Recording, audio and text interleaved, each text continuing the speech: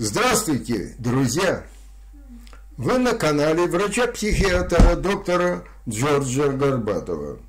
Сегодня у нас 12 октября 2024 года, суббота, местное время 20 часов 01 минута, киевское и московское 21 час 01 минута.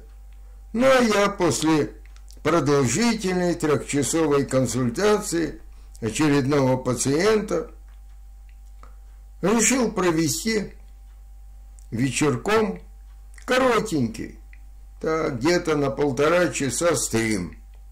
Естественно, если будут посетители, зрители, слушатели, участники. Хочу вам сказать, что позавчера, вчера да и сегодня, а, значит, такая не сильная, значит, были очень жесткие геомагнитные возмущения. Скорость, например, вчера скорость солнечного ветра э, э, доходила почти до 800. Даже не знаю, там километры, сейчас я посмотрю, километры или метры. Сейчас посмотрю, чтобы не ошибиться вот, километры в секунды. Около 800, там 700 с чем-то к, 8, к 800 доходило. Вот. Ну, а завтра уже, конечно, магнитной бури не будет. Вот. Сегодня была коротенькая, небольшая, Г1, но была все-таки. Вот так вот. Ну, вот так. Пока я смотрю, нет участников – Абсолютно нет участников. Вот. Абсолютно. Вот. Но будем ждать, будем ждать. Будем ждать. Будем ждать. Посмотрим. Может быть, кто-то и появится. Но уже прошло минут парочку, пока ни одного нет. Одновременные просмотры 0. Отметки нравится 0. Число зрителей прочерк. Активность в чате прочерк. Прочерк просмотре 0. Средняя продолжительность просмотра прочек. Число зрителей 0.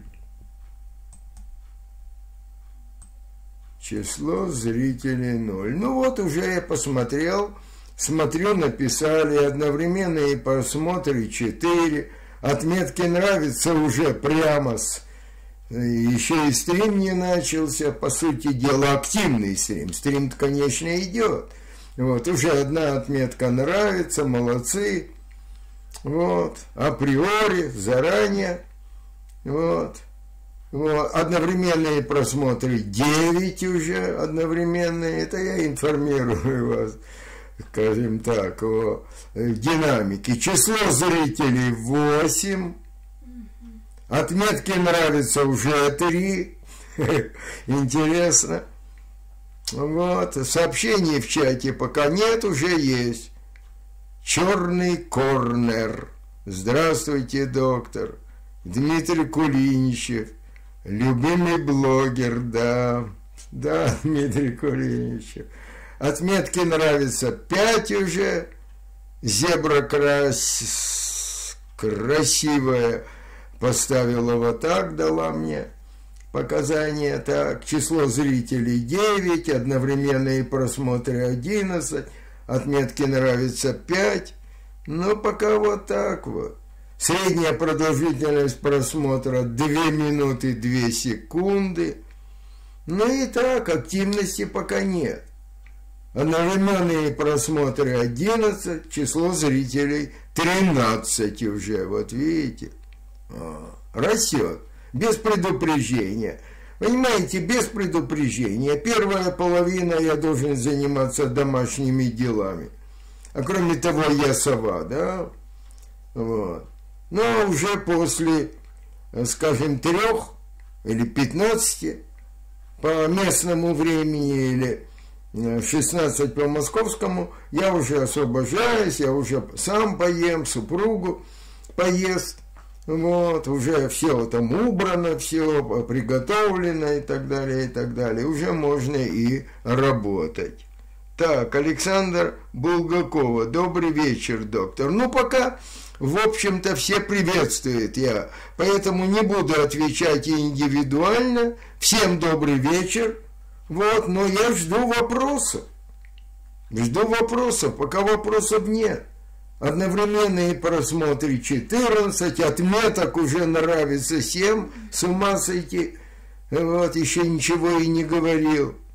Вот, ну, опять добрый вечер, да, да, добрый вечер, я уже сказал, число зрителей 14, а вопросов нет, вопросов нет, ждем вопросы, ждем вопросы, ждем вопросы. Отметки нравится 8 уже, активность чатит два, но пока еще не появилось. Вот, два. Там уже, значит, добрый вечер уже шесть человек пожелали. Средняя продолжительность просмотра 1 минута 51 секунда, одновременные просмотры 17, число зрителей 14. Да, опять зебра рада вас видеть. Ну, и я вас рад видеть всех. Всех. Вот. Надеюсь, что тут не будет того флуда, который вот на консультации. Кстати, сегодня Йом-Кипур. Знаете, что это такое? Судный день. Бог решает судьбу каждого на следующий год. Ну, это по еврейскому календарю. Вот так. Так что надо замолить все грехи, надо э, покаяться, и, возможно, Господь Бог продлит на год счастливую жизнь, да, или здоровую жизнь. Так, Ник Ива. Постоянно болит грудной отдел позвоночника. Возможно, это психогенного характера или просто усиливается боль при хронической депрессии. Вы знаете, я вам вот что скажу. Сразу же болеть все на э, психику или на психосоматику – это неправильно. Значит, в первую очередь я вам советую, если у вас такие боли, вот, исключить органику, соматику.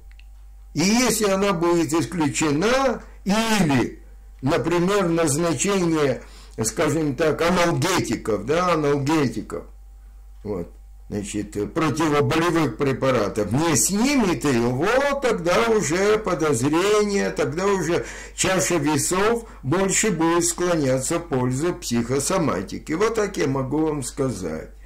Ну вот так, дальше. Прекрасный мир, здравствуйте. Объясните, пожалуйста, что такое дисфория. Знаете, дисфория двух словах. Это такое мерзкое, злобное, мрачное настроение, еще и раздражительность, агрессия. Вот знаете, на лице вот такое мимика, лучше не подходи, не трогай меня. Вот это дисфория понимаете, мрачно, раздражительное, агрессивное, недовольное вот настроение и такое же выражение лица. Так,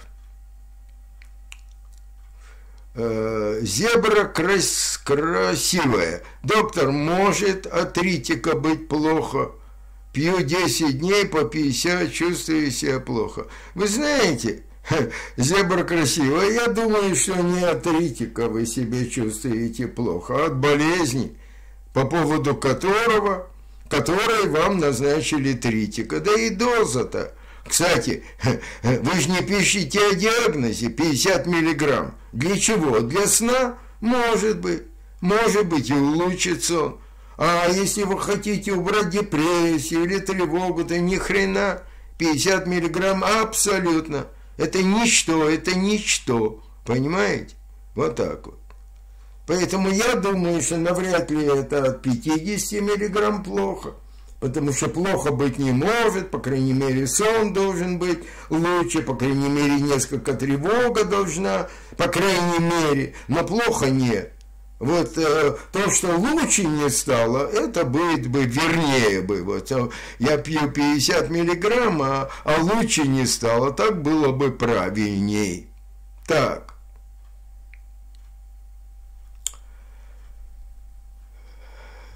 Здравствуйте. Чем отличие между симптомами ГТР и соматофорного расстройства? Они бесхожи? Да. И при ГТР очень часто бывает психосоматика. Ну а при соматофорном, или как сейчас это принято называть, соматическое стрессовое расстройство, вот, а оно, собственно говоря, соматофорное. Значит, как отличить? Во-первых, всегда надо узнать, какова жизнь была, особенно в период становления характера, детства, подростковый возраст до 18 лет.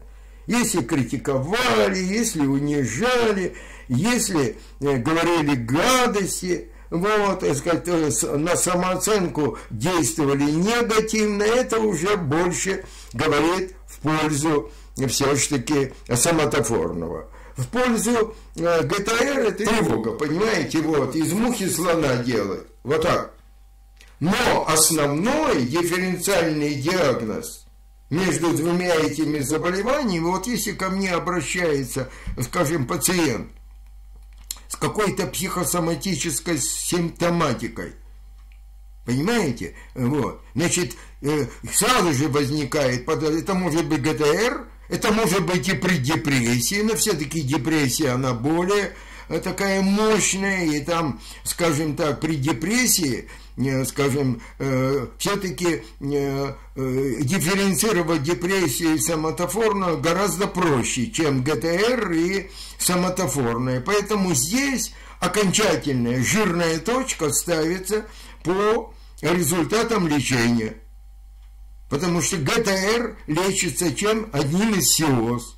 Причем при ГТР любой СИОС окажет лечебный эффект. И, после, и вот если мы видим, что после 6-8 недель терапии никакого эффекта или нулевой на копейку эффект, естественно, при наличии там детства, Э, при наличии подозрений все-таки какой-то симптоматики на соматофорное расстройство, конечно, чаша весов склонится в пользу соматофорного расстройства.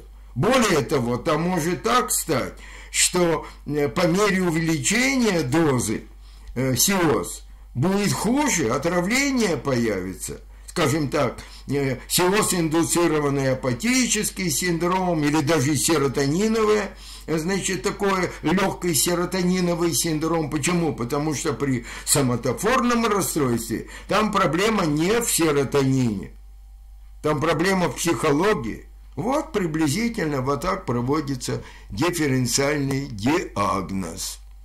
Так, может ли быть депрессивное состояние из-за магнит? Да, реакция, депрессивная реакция, конечно.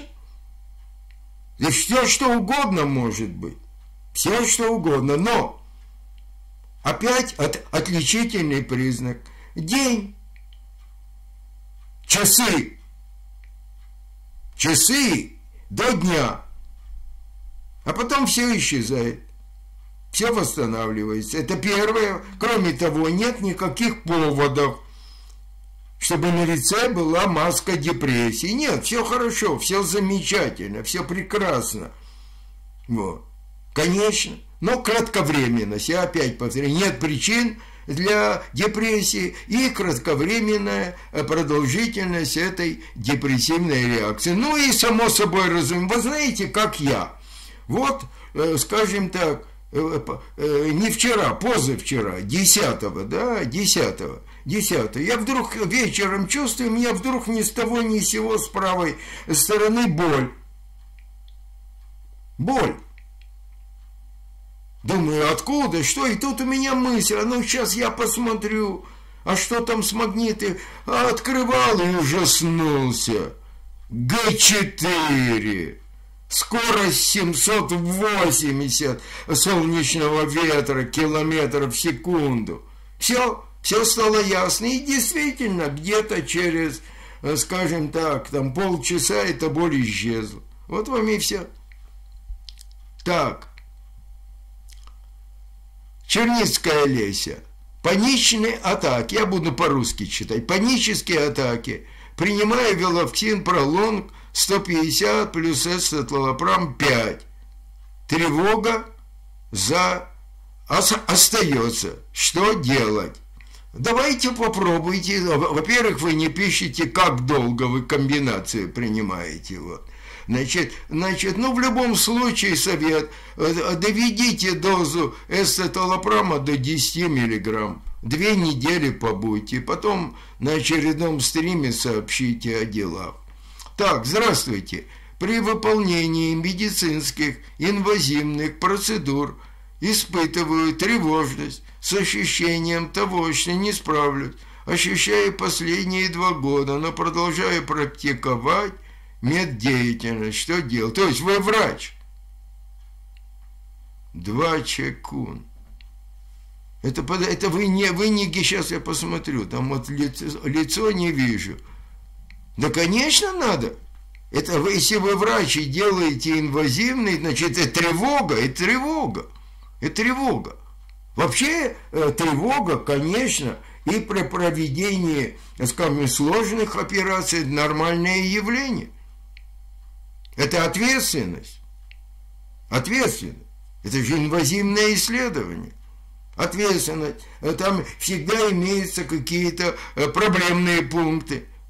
Значит, э, имеется в виду какие-то осложнения, так что тревога нормальная. Другое дело, другое дело, она не должна зашкаливать, но какой-то умеренный небольшой уровень тревоги обязан быть.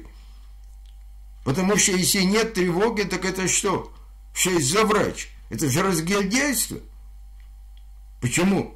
Он, он э, уверен, самоуверен, что все будет хорошо. Поэтому я опять повторяю, что если она такая не мешающая в начале, а потом по ходу ее, скажем так, проведения этого исследования инвазивного трога уменьшается – вот. Это нормальное явление. Ну, а если она зашкаливает, если вы еще и до начала э, тревог, э, этого проведения, там, за сутки начинаете нервничать, и чем ближе э, к проведению этой процедуры вы уже прямо с ума сходите, больше ни о чем, это, конечно, тревожно-мнительный характер. Ну, скажем так, у меня перед э, консультацией я тоже небольшая тревога имеется всегда.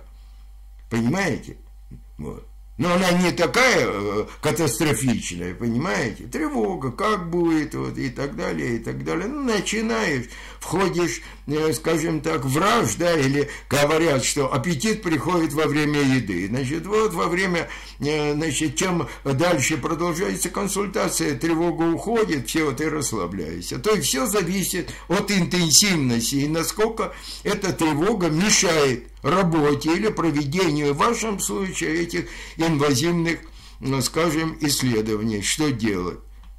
Если это мешает, значит, надо лечиться, значит, тревога. Да, там и другая симптоматика. Там э, эта тревожность, она должна не только в связи с инвазивными, а вообще она распространяться должна, если это тревожное расстройство. Там комплекс должен быть жалоб.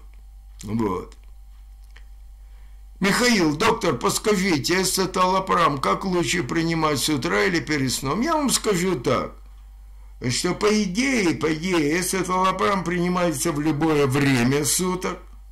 Его э, период полувыведения 26 часов, поэтому не имеет значения, он сутки охватывает.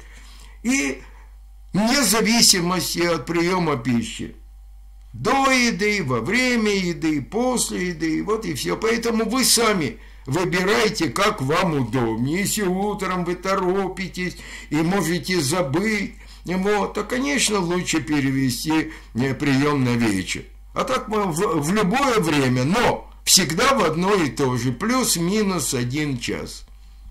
Так.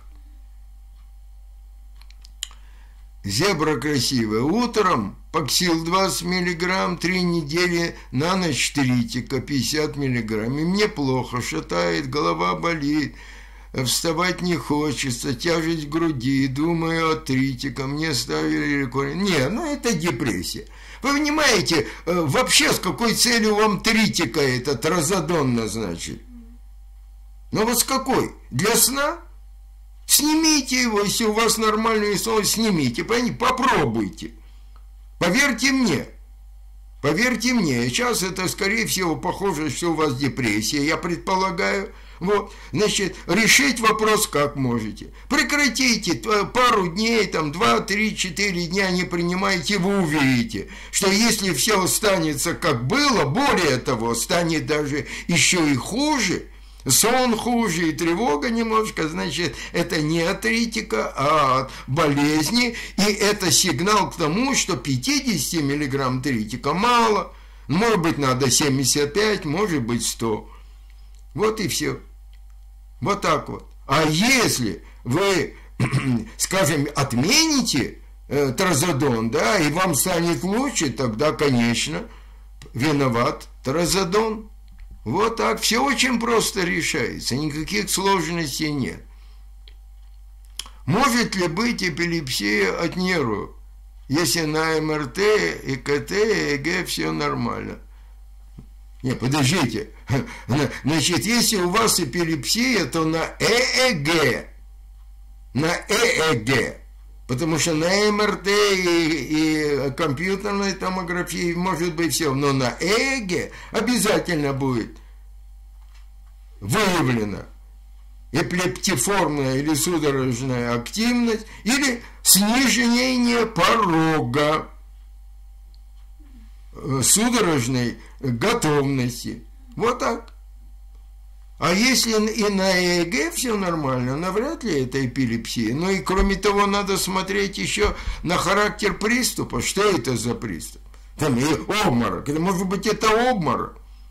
Понимаете? То трудно сказать. Но я опять повторяю, что если это действительно имеются судорожные, настоящие большие припадки, то ЭЭГ обязательно должна показать наличие судорожной готовности, это вот активности, судорожной готовности или как минимум снижение порога судорожной, э, скажем так, э, э, порога судорожной готовности. Вот и все. Причем, что еще интересно, что если вы будете делать ЭЭГ, принимая антиэпилептики, так там ничего не покажет.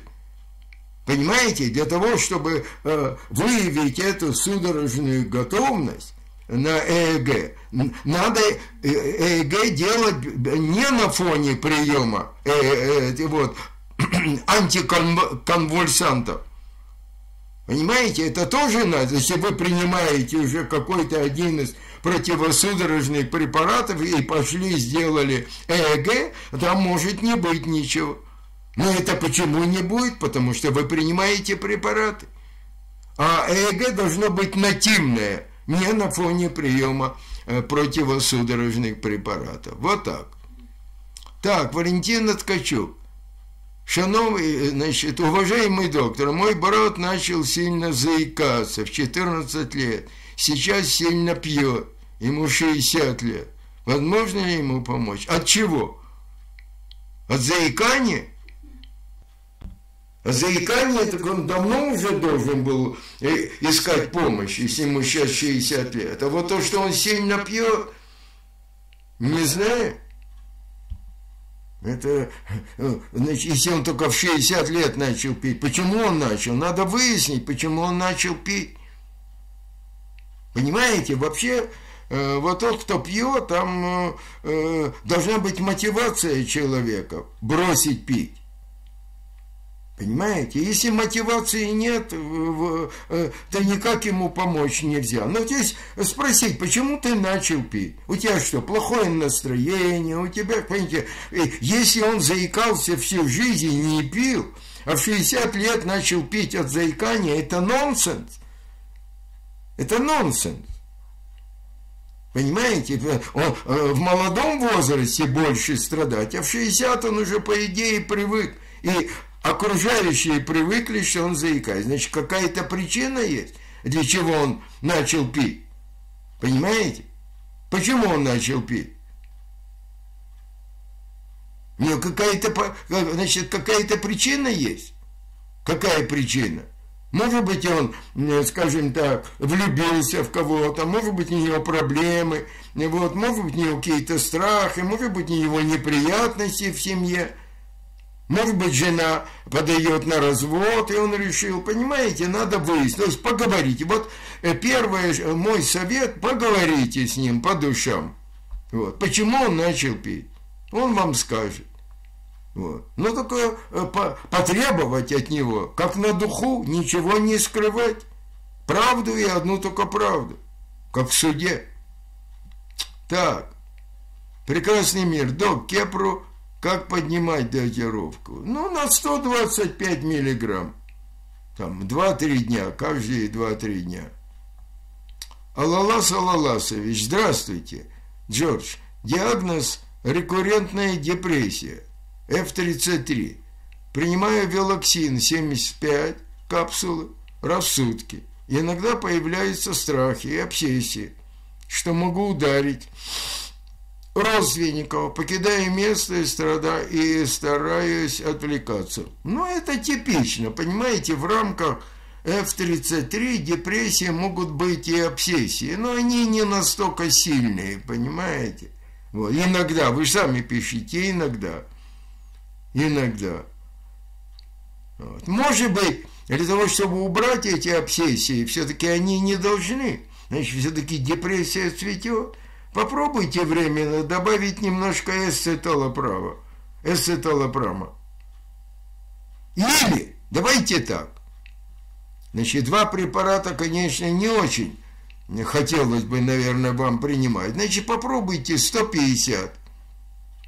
150 Э, э, скажем, велофоксина, да, ретар, попробуйте. Если станет лучше, так и остановите. Почему? 150 все-таки велофоксин оказывает э, э, преимущественно серотонергический эффект. Или к 75 добавить 5 миллиграмм эсцетолопрома, 5-10 мг, и, и посмотреть, на какой Э, значит, на каком варианте 150 миллиграмм монотерапии велофоксина или на 75, 5 или 10 миллиграмм эсцеталопрама будет лучше. То есть вот эти навязчивые эти компульсии, да, обсессивные компульсии исчезнут. А, конечно, если возникают такие мысли, так и, естественно, человек убегает от этой, э, э, скажем, э, ситуации, где эти родственники стараются переключить внимание. Значит, при сильных обсессиях, при обсессивном это не помогает. А если это как один из проявлений или симптомов в рамках депрессии, вот, то может помочь, и, естественно, тем более, если они возникают эпизодически и иногда. Так, о чем это может говорить? Да ни о чем. Это я уже вам сказал, это синдромы депрессии. Именно, именно, именно вот тяжелой депрессии. Тяжелая, F33, как вы пишете. Возможно, что это можно даже и оценить, расценить как психотическая депрессия. Там же есть F-33 2, 1, 2 и 3, по-моему, есть, или 2, я уже не помню, там этого симптомное, э, значит, психотические расстройства, может быть, может быть, это депрессия, то есть э, в рамках F-33 вот, э, вот такая симптоматика может быть. Так, опять так, каждый день думаю, что все кончено. Нет, что все конечно. Нет, что все кончено или конечно. А, конечно, ну, все кончено. Иногда забываюсь, но в голове держится постоянно, что время беспощадно все испепеляет. Ну, это правда. Смотрите, как время бежит. Но это, конечно, болезнь. Конечно, это болезнь. это страх, это депрессия, это безнадежность, это фиксация. Понимаете, здоровый человек на этом не фиксируется. Это неприятная вещь, она может возникнуть, он его тут же, понимаете, старается не думать. Ну вот знаете, представьте себе, здоровый человек представляет этот космос, да, вот эту бесконечность. И представляет, что он где-то там. Понимаете, страшно, неприятно. Ну, сразу же мы и не думаем об этом. А больной человек будет все это видеть и представлять, и также о том, что он будет думать о том, что, значит, придет время, надо умирать. Здоровый человек выбрасывает эту, устраняет, она неприятная. Или вообще она у него не возникает. Это заболевание в рамках, скорее всего, депрессии. Там тревожной или обычной. Это плохо, это, это тяжело, и сны такие должны быть. так. Пожалуйста. Здравствуйте, доктор. Подскажите, пожалуйста, я часто принимаю нестероидные противовоспалительные средства. Больная спина. Начитала. Так не все, да, в общем-то, в основном сиоз. Да и сиоз и Н не стоит принимать. Почему? потому что особенно сиоз, они сами способствуют появлению кровотечений. И нестероидные противовоспалительные препараты, да, обезболивающие, они сами в монотерапии могут вызвать и вызывают часто желудочные кровотечения. А в комбинации, естественно, суммируется этот эффект, и риск возрастает, поэтому принимать очень редко – очень редко, а лучше нет. А лучше не принимать, лучше парацетамол. Но и парацетамолом не злоупотребляйте. Понимаете? Потому что парацетамол, вот некоторые, э, значит, э, там, или суицидальные пациенты, или борделяйные пытаются, значит, там, имитировать, да, суицид с помощью парацетамола. Вы знаете, делают страшную ошибку. Ну, тот, кто хочет умереть и умирает, все. А вот тот, кто и не хочет умереть, печень, он губит печень, там возникает печеночная недостаточность. С парацетамолом тоже надо быть очень и очень, э, скажем так, э, осторожным. Более того, я прочел и сам обалдел. Я слышал об этом. Значит, вот недавно, буквально вчера или позавчера, сообщение в серьезных источниках Значит, э, витамины, поливитамины, высокодозированные, которые любят наши пациенты, э, и которые без всякого ну, повода, ну, вот, без всякого дефицита того или иного витамина, это вот, принимают летом, зимой, как, значит, я еще могу понять весной, когда уже все, этого нет. Так вот, вы знаете, удивительно. Витамин А, бета-каротин – витамин В6, витамин В12 и даже витамин С способствует, если длительно принимать при, э, значит, наличии наличии не дефицита, вот отсутствует дефицит этих витаминов, значит, рак легких. Я обалдел. Вот так вот. Так что осторожно с витаминами. Осторожно. Значит, витамины так, если есть дефицит какого-то витамина, или, скажем так, вот человек плохо питается, плохо питается, однообразно там что-то принимает, там какую-то одну пищу, или вообще мало кушает, подголадывает, экономит, да, и так далее, и так далее. Так вот, может быть, там, или вот пожилые люди очень часто, плохой аппетит, кушают мало – зубы плохие, вот, и количество, вот, вот там может быть и надо это, но определить надо, определить основные витамины. И если там дефицит ниже нормы сыворотки крови, тогда можно, конечно, э, курсом добавить. Ну, скажем так, вот я веган, да, вегана. Значит, я не, не ем э, мясной пищи. Естественно, у меня витамин В12 будет в дефиците. Значит, я должен там 1000 микрограмм ежемесячно колоть. То же самое и фолиевая кислота. А вот я болен диабетом. Я два раза в году колю В1, В6, чтобы не было полиневропатии. Кроме того, витамин С принимаю регулярно с супругой.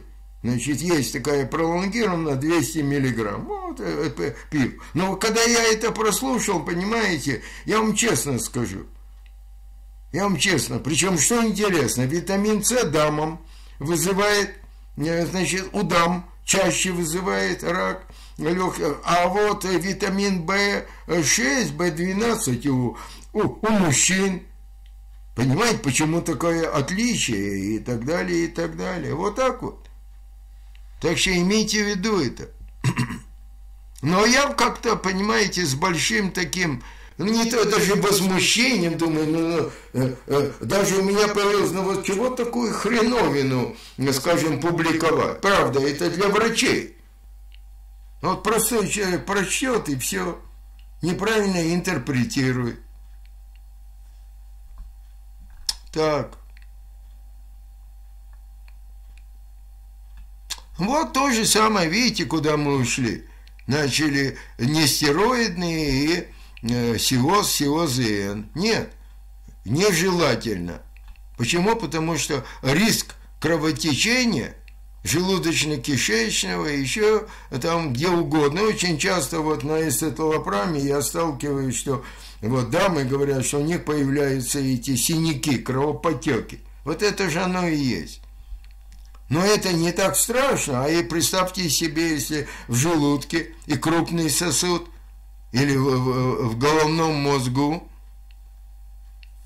Поэтому лучше не принимайте. Или очень и очень кратковременно, под наблюдением смотрите, как и что. Э, но это действительно так.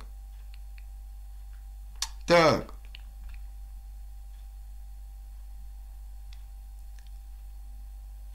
Уважаемый доктор, может ли аутизм Аспергера совмещаться с биполяркой или бордерляйном? Вы знаете, там же, наверное, понимаете, вот не могу вам стопроцентно ответить. Вот не могу. Почему? Это все-таки разное. Что такое Аспергер? Это шизоидная психопатия. Это действительно. Он принадлежит, прилежит. Можно шизоида назвать, значит, э, сказать, что он страдает э, расстройством аутистического спектра. А биполярное – это совершенно другое заболевание. Совершенно. Хотя, хотя, хотя, вы понимаете, насколько сложна эта психиатрия. И вообще, все эти современные исследования. Вот, ну вот э, с витамины, вы понимаете? Ну, что это такое? Э, витамины, да? Или там витамин D, да? Вот некоторые пьют в огромных количествах, а там же и камни в почках могут быть. То есть там, э, скажем так, вот последняя работа я читал, не больше двух тысяч интернациональных единиц в сутки. Значит, это безопасно. Вот мы с женой пьем по 1500, три капли. Хорошая есть такой э, форма витамина D, токоферола. Вот, называется Вигант Эль. Эль, мясо, это вот масло.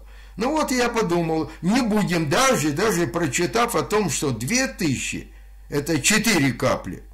Вот, э, значит, безопасные. А мы как-то, сам вот я, значит, пришел и каждое утречко три капельки на кусок хлеба или на кусочек это, сахара, эту штучку, вот, три капли. Думаю, так и будет полтора Э, значит, 1500, вот, но ежедневно 3 капли. Даже эти 4 не хочу, которые, думаю, этого тоже будет достаточно. Понимаете, вообще все должно быть в меру.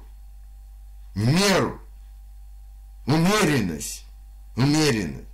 У немцев есть очень хорошая такая поговорка. Э, скажем так, месик Аба регель месик. Месик это увери, умеренно, но регулярно.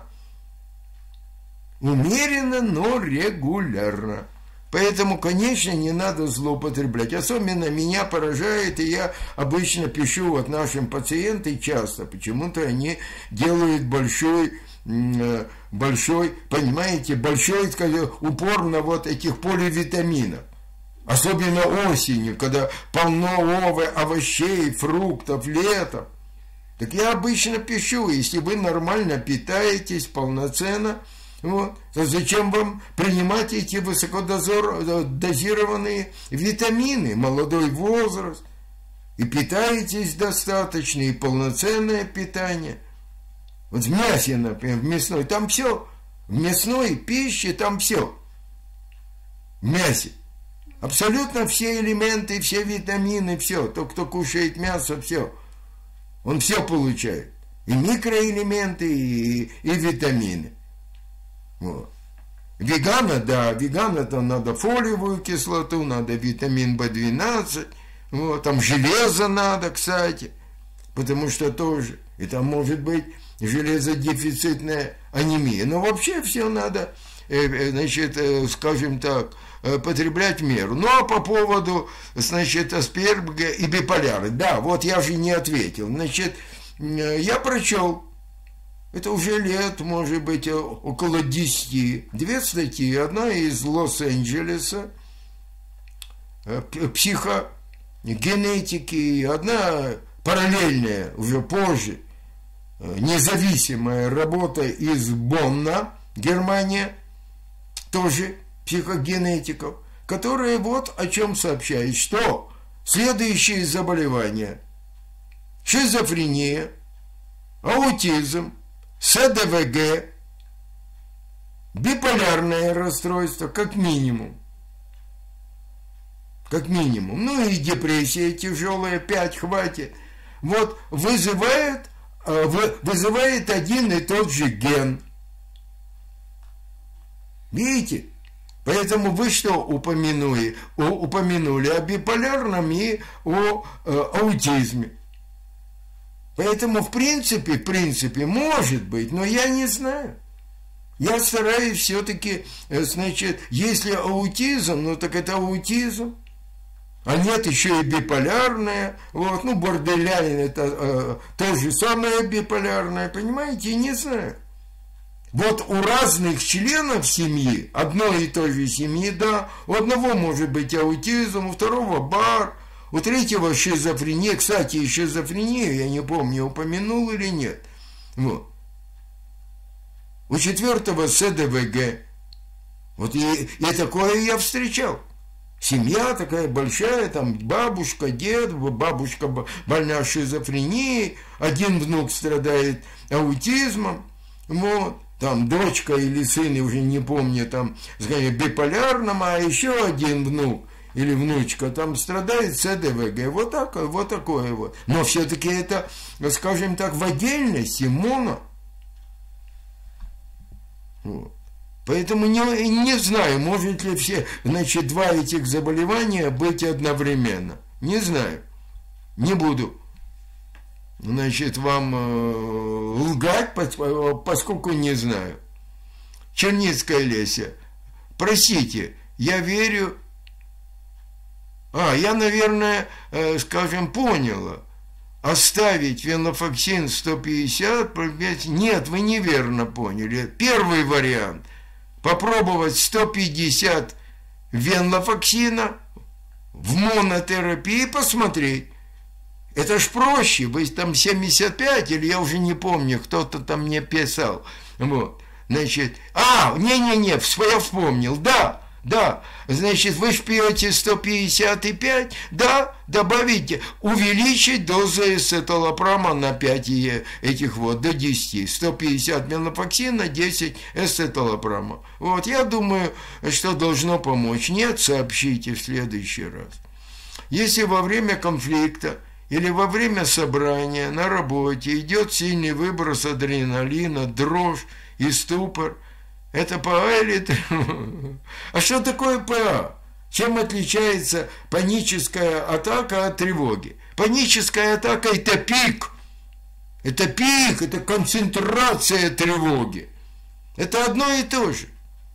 Это одно и то же. Просто.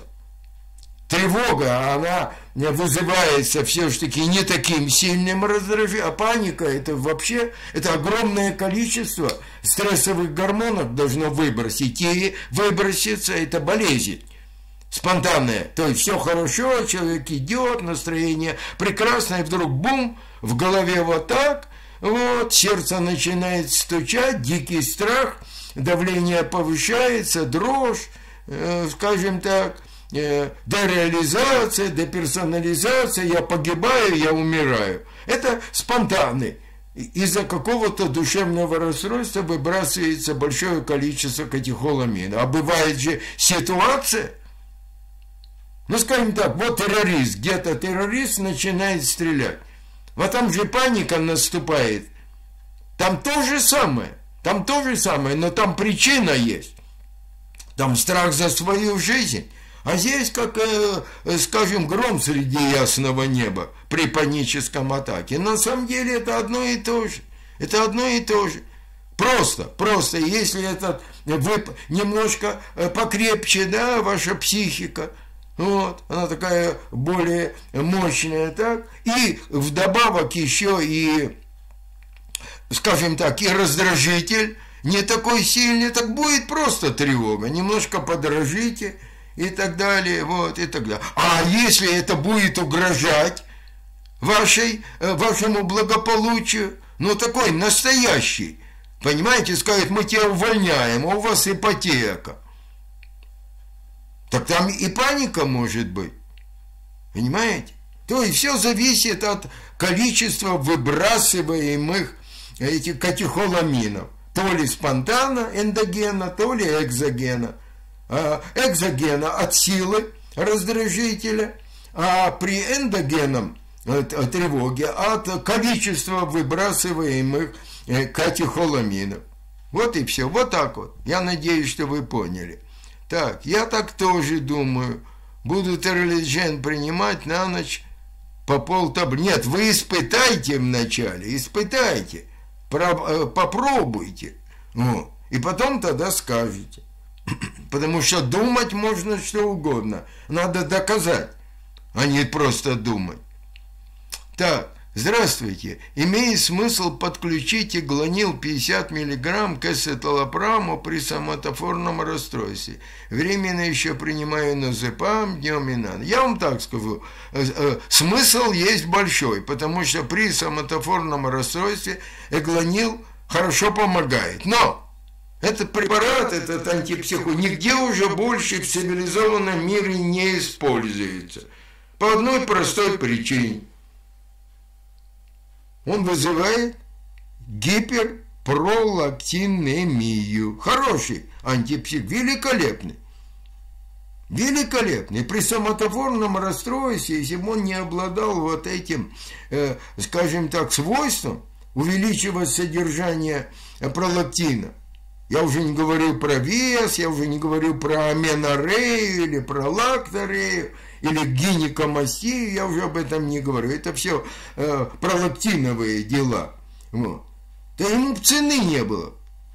Но вот это вот маленькая дрянь, да, пролактин, вот он все, он из прекраснейшего антипсихотика сделал. Ну, попробуйте временно, временно. Но вы понимаете, ведь его ж долго нельзя принимать. 50 э, миллиграмм, может быть, он вам пролактин э, повысит там через месяц. А если дать вам 400 миллионов, так он буквально через неделю. Прекратятся месячные, начнет э, грудь увеличиваться, сочиться оттуда и так далее, и так далее. Потом пойдете проверите, а там зашкаливает. К сожалению, вот так. А при самотофорном, конечно, смысл есть. Потому что он помогает. Это единственный препарат, который великолепно помогает. Но, но и двое, и многоточие. Так, сильно ли отравляет печень организм в целом длительный прием ципролекса 15 и 100 мг ламиктала? периодически потаю. Слышал, что и от боли в грудном отделе тошнит. Все, наверное, нет патологии. Вы понимаете, вы понимаете, в чем вся проблема? Вот опять путают. Вот я уже отвечал сегодня на такой вопрос. От тразодона или от болезни? Плохо. То же самое и тут. Поташнивает. Я сейчас говорю о поташнивании. Может поташнивать от депрессии, если вам назначили э, ламиктал, так, и э, цепролек, значит, предполагает, что там биполярная или монополярная, вот, значит, что у вас депрессия, от нее может. А что касается, что касается, надо контролировать. Надо контролировать вот эти энзимы, или не энзимы, а эти вот трансаминазы печеночные. Ну, не, э, скажем так, как минимум один раз в год при длительном приеме, максимум один раз в полгода. Вот и все. Э, профилактически можно э, курсами при длительном приеме этих препаратов, скажем так, принимать это маринандинс, ну, скажем так, это как называется, лигалон, да, или корсил – или еще что-то там, эссенциали и так далее, и так далее. Проверять, контролировать надо. Эсцеталопрам сильно не грешит в этом. И если вы принимаете это, конечно, несколько месяцев, навряд ли. Другое дело, что если у вас уже печень, там гепатит перенесли когда-то или жировая печень, другое дело. Значит, контролировать, контролировать. И если вы видите, что действительно – Значит, до лечения надо было проконтролировать. Ну и через полгода, как, как э, минимум, проверить. Если показатели вот эти трансформиназ будет э, в норме, вот, и не изменится, так не надо ничего и принимать. Ну, вот так. А тошнота может быть от, от такого неврогенного, психогенного характера при любом душевном расстройстве.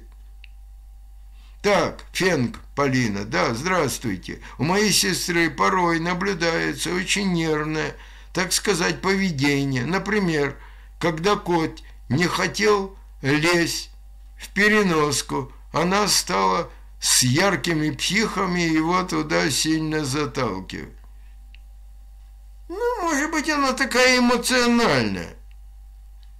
Ну, конечно, сестра, она же, вы же молодая, да и сестра, наверное, молодая. Не знаю, надо смотреть. Понимаете, это моносимптом.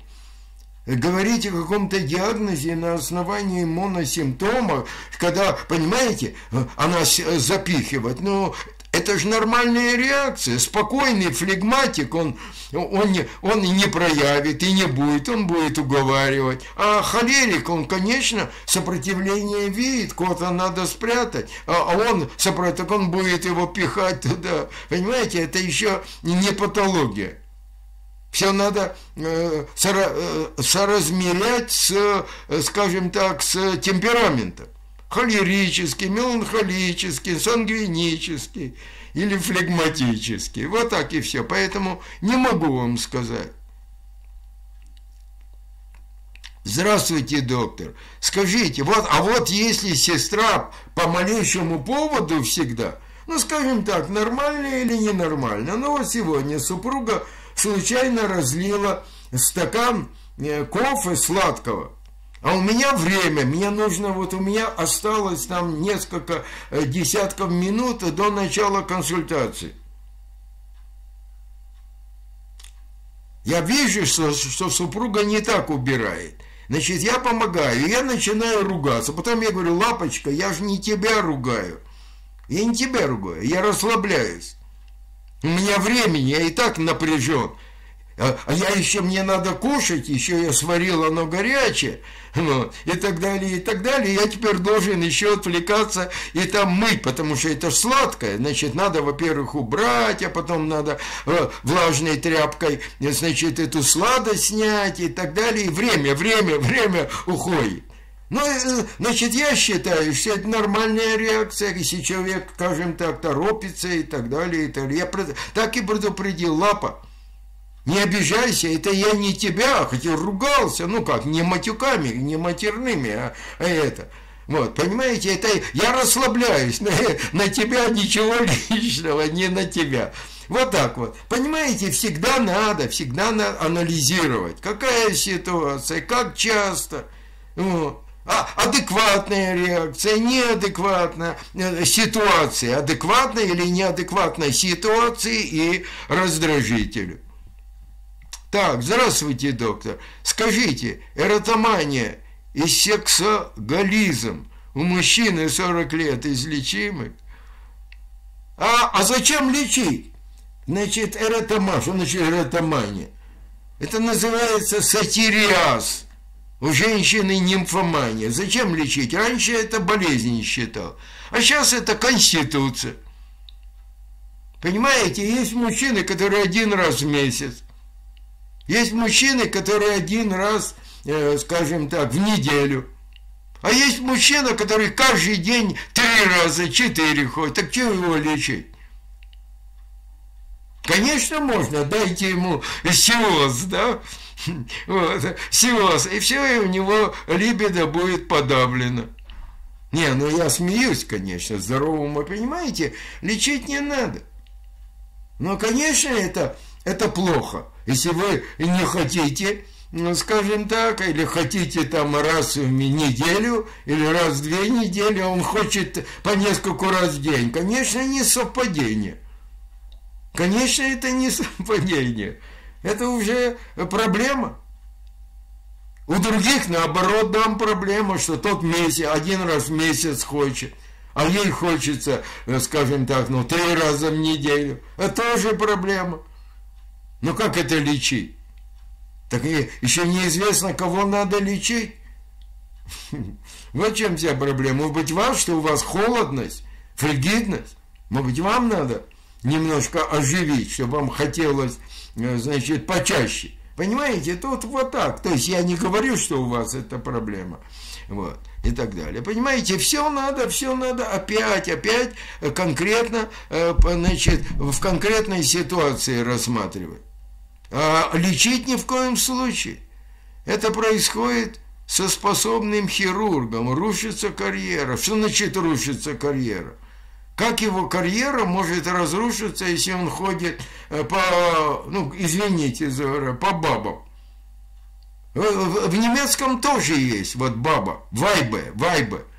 Я помню, когда только приехал в Германию и проходил практику одного доктора, я с ним долго сотру, и помню, меня я хохотал. Значит, мы приехали, у него жена была, симпатичная такая женщина. У нее свой Пежо было, у него старая значит, этот э, Мерседес такой старый, ну, хороший, крупный такой, вот, и так далее. И вот он, помню, приехал, он, он комплектовался, видит, а ее нет. Он говорит, у, щереклихе вайбе. Значит, переводе на ужасная баба. Ну, что она что-то уехала. Вот. Понимаете, а при чем здесь будет э, рушиться карьера? От чего будет рушиться карьера? Одно другого не касается. Если он хирург, способный, так пусть и работает. А это он же не... Или что, он начинает он больным, да, приставать? Ну, тогда, конечно, тогда не только карьера, и в тюрьму может сесть. Понимаете, это разные вещи. Это работа, хирург, а секс, или, как вы говорите, это сатириаз, это уже в свободное от работы время. Не знаю. Вы, наверное, не все понимаете. Вы мне бы более подробно, тогда бы я понял, почему карьера рушится. Хорошо. Ну, не мог, понимаете, ну вот как, вот, э, это можно сравнить с следующим. Вот недавно у меня есть одна пациентка, вот, э, страдает бар. И вот я ей назначил, э, значит, ламотрижин, ну, ламотрижин хорошо, и 400, там 300 не помог, нет, 200 не помогало, а 300 квитиопен. Она говорит, жор наступает. Жор. Я говорю, ну давайте иди. Она понимает, она работает в фитнес-студии. Понимаю, я ничего не могу сделать, как в прорву проваливается. Ну вот как можно лечить это, если жрать хочется? А как можно лечить, если это фенсин? Если хочется, значит, несколько раз в сутки, вот, э, скажем, если это, конечно, если это, конечно, не органика, если там органит, а курологу, если органическая патология бывает, там притабиси, дорзалис и так далее, и так далее, там бывает. Это другое дело, там надо лечить. А если это его конституция такая сильная, ну как ее можно лечить? Ну как можно заставить? Понимаете, вот так, сложный вопрос. И, конечно, надо разбираться по ходу дела, там, в деталях. Так.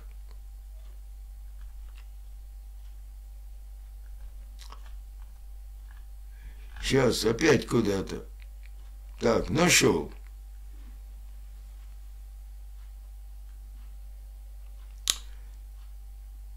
А если у меня нет депрессии, а только тревога, все время спешу и делаю все очень... Можно ли мне попить квитиапин без антидепрессанта? Так лучше, наверное, антидепрессант попить э, от тревоги, а не квитиапин. Кушать начнете, да? Поправляться начнете. Спать будете. Вы лучше, конечно, сиоз. Немножко, а или вообще, или вообще, может быть, что-то симптоматический, какой-то анксиолитик, не без антиазепинового ряда. Но все зависит от того, э, вот от диагноза, понимаете, от диагноза и насколько вот эта спешка – и, значит, вот эта тревога, что вы называете, насколько она мешает и отравляет вам жизнь. Так, у меня тоника клонические судороги по всему телу, с потерей, это похоже на э, эпилепсию, три раза было от сильных нервов, переживал сильно, поставили височную эпилепсию, причем от страха бывает дежавю и запах. Вы знаете, я вообще не занимаюсь э, эпилептологией, но вот там один вопрос. Понимаете, почему ставят височную?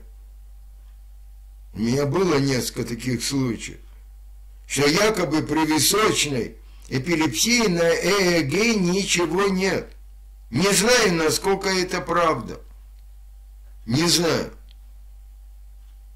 Вот у меня создалось впечатление, когда ставят височную эпилепсию, ставят тогда, когда есть какие-то тоника, клонические судороги, там, с потерей сознания или без потери, там, с прикусами, с пеной, с, с недержанием мочи, и так далее, и так далее, приступа. Значит, естественно, ЭЭГ – это ключевое исследование даже не так МРТ. МРТ э, это уже, по, э, скажем, такой дополнительный, нет ли там очага, опухоли или очага, рубца.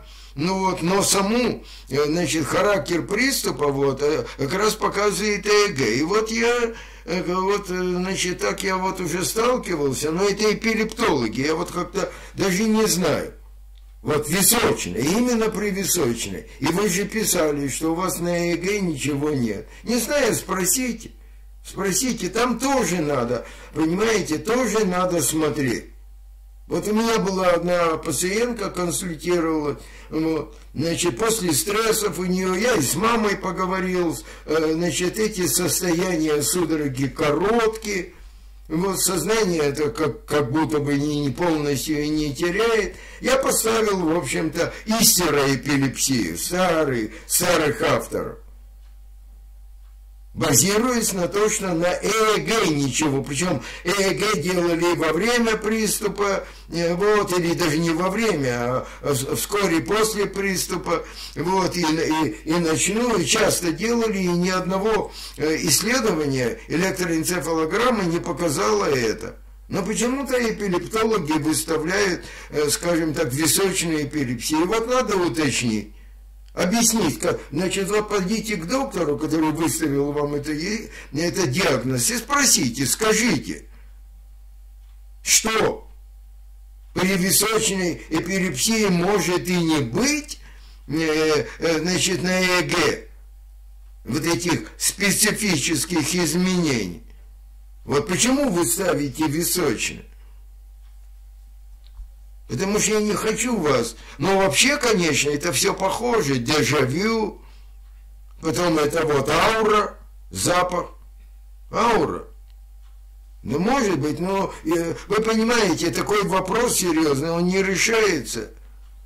Он не решается вот э, на основании вопросов, стриме и ответа. Надо смотреть, надо э, все, э, все обстоятельства, все симптомы, э, наблюдать это, посмотреть хотя бы раз этот приступ.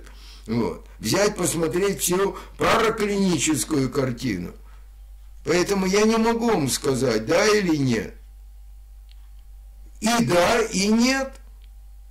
Почему да? Потому что вот его, то, что я сказал, что ставит иногда височную, я уже сталкивался – со своими больными, а эпилептологи ставят височная эпилепсия при отсутствии ЭЭГ. А почему нет? Я говорю, почему нет? Потому что все оштыки при судорожной форме большой, э, значит так, петит, петит грант, есть петит маль, а есть петит грант, большой судорожный препарат, там должна быть там э, должны быть специфические изменения на ЭЭГ, поэтому я вот так уклончиво и да и не у немцев я, э, э, я э, не подождите, яин, яин, я это да, найн это нет. Так они объединили в одном слове, немцы любят, и вот точно, яин, и да, и нет. В одном слове и да, и нет. Вот такие я отвечаю, и да, и нет. То есть это надо решать на месте. Так.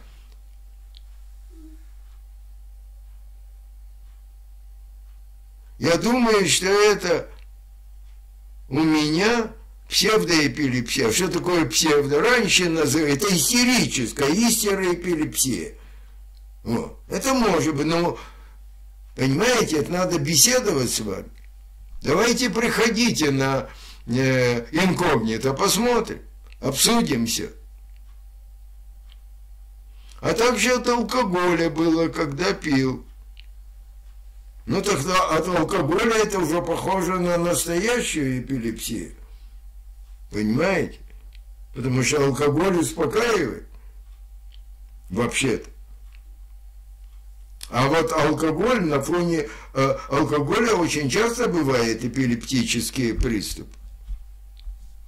В общем, это надо к, к этому, к эпилептологу серьезному, вот, и чтобы он все-таки не просто так поверхностно, да, а, да, вот на, и тебя эпилепсия. А чтобы все-таки он проанализировал, чтобы это был и психиатр, эпилептолог, психиатр, вот, и так далее. К сожалению, к сожалению, не могу вам дать конкретного, конкретного ответа. Так. Психолог Ольга Уткина. Добрый вечер. Да, добрый вечер. Доктор, помогите, пожалуйста, проведите со мной диагностику. Я страдаю всю жизнь, что я не такой, как все, а люди, в том числе и психиатры, и психологи, не хотят увидеть мои проблемы. Вы задаете совершенно... Вы не такой. За мной герой, страдаю все время, я не такой, как все. Черт я знаю, чтобы там аутизма не было.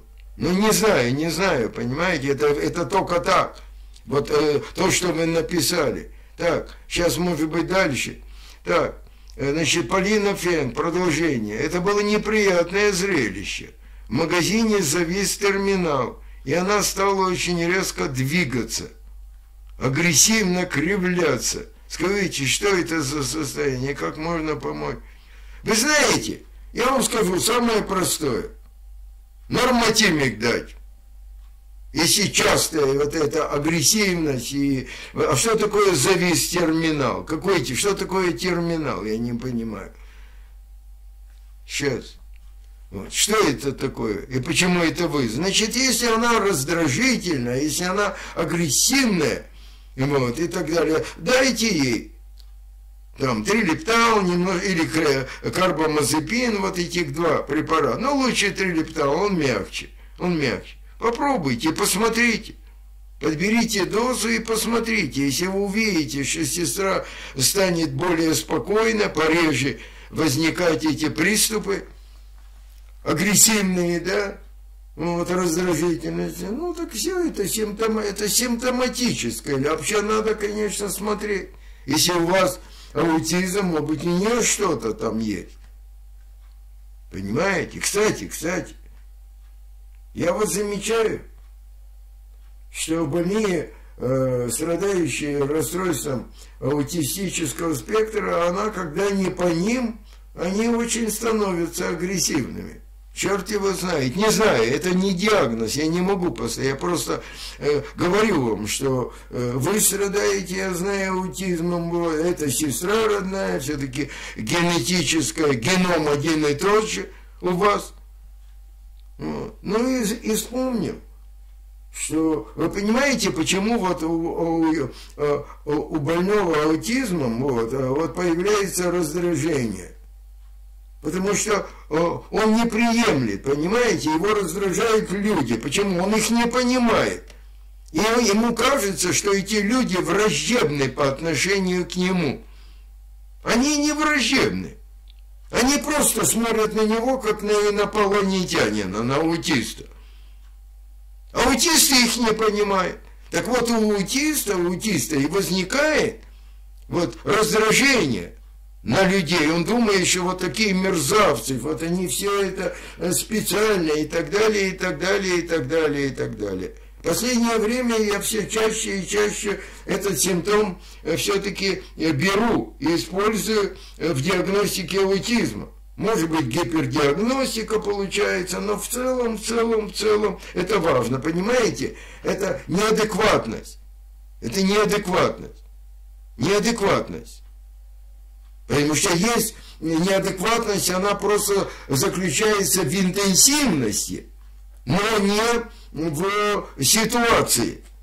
А есть неадекватность именно ситуационная, в ситуации, которая вот реакция возникает неадекватно из-за, э, не, э, или вернее, возникает неадекватно ситуации. Вот так. Ну, в общем, короче говоря, надо, надо, надо разбираться с вашей сестрой, понимаете? Это все вот такие, понимаете, здесь вот некоторые пациенты, вот, участники хотят э, провести диагностику на основании одного-двух симптомов. Это невозможно, это не годится. Это не годится. Вы здесь не получите Понимаете, на основании а, одного какого-то моносимптома диагноз. Это вообще несерьезно. На основании моносимптома строить диагноз. Надо разбираться. Но это, конечно, э, это может быть и нормальная реакция э, в рамках темперамента холерического, а может быть и болезненная, понимаете, разбираться. Так, здравствуйте. Диагноз БАР, схема 10 арипипрозол, 400 ламотриджин, депрессия не отпускает, еще хуже с осенью, не могу встать с кровати, не могу. Значит, я вам скажу так. Вообще арипипрозол при биполярной депрессии не используется. Там четыре используются. В Германии два. В Америке четыре. Карипрозин, лоразидон, аланзапин – Э, квитиапин. В Германии два. Квитиапин, аланзапин. С моей точки зрения, э, из моего опыта, самый эффективный аланзапин. Но, если вы дама, проблема. Там надо либо маленькую дозу, там два с половиной, максимум пять, там вес, вес. Ужасный вес. Для дам это табу. Понимаете? Хотя вот я тоже не понимаю этого. Понимаете, если человек страдает биполярной депрессией, не может встать с кровати, и вообще полная э, неактивность, так э, должен плевать на, на препарат там, и, и на вес. Потому что самое основное, что мешает и нарушает жизни, это все-таки депрессия. Нет. Нет, вот вес, он оказывается более приоритетный, чем сама депрессия. Так вот, я вам советую. Репепрозол не дает такого веса, квитиапин, скажем так, и жор, главное, жор, понимаете, вот, и так далее. Значит, Аланзапин самый эффективный, с моей точки зрения, мой опыт показывает, самый эффективный. Вот а, э, вам бы сейчас 10 миллиграмм. Но я опять повторяю, если вы дама, вы не, вы не согласитесь на него. Тогда карипрозин полтора-три миллиграмма, лоразидон 20-40 миллиграмм или квитиапин 150 миллиграмм Э, 300 миллиграмм. Замените ариперпразол, вот при мании ариперпразол бы работал, а при депрессии, биполярной депрессии ариперпразол не используется, он не работает. Так, Анна Малышева. У меня сегодня четвертый день приема ломотриджин. По 25, сыпь чешется, конечно, конечно. Нет, ну я вам скажу, самое главное сыпь. Сыпь. Зудящая сыпь. 25 миллиграмм. Не годится. Не годится. Ну, а как Паркинсон, а вот, вот это все сжималось, это и не знаю, это может быть реакция. Но не, не на отмену, реакция психогенная на то, что вы, может быть, надеялись, надеялись, что э, ломотрижин мне поможет, а тут вдруг э, четвертый день, и вдруг сыпь, еще и зудит, а вы испуганы, Кроме того, во-первых, все, понимаю, разочарование, все, я должна отменять его. Это первый вариант. Предполагаемый или предположительный. Второй вариант. А может быть что-то серьезное, а вдруг я умру, понимаете? Я думаю, что на это вам не надо обращать внимание. Вот на то, что сыпь, это важно. Значит, ломотрежим прекратить и заменить его другим скажем так, попробуйте кепру. От 500 до 1000 миллиграмм подберете, посмотрите. Ну, с врачом, естественно, проконсультируйтесь. Так, Андрей Андреев приветствует. Да, Олесия, доктор, как вы перенесли переезд в другую страну в зрелом возрасте? А как? Ехал. Вы что? Мы, мы же не знали, знаете, когда не знаешь, так думаешь, боже мой, ты приедешь как победитель, да? Знаете, сколько людей и в царское время приезжали в, в Петербург завоевывать Петербург. И заболевали чахоткой, и вообще так. А сейчас Москву завоюем, да, Москву или Киев завоюем, и все. Понимаете, это э, э, типично для человека. Вот ехал я в таком, завоюю. А когда я столкнулся, вы знаете, я вот э, уже где-то приводил такой пример. Вот. Причем мы-то ехали по льготным условиям.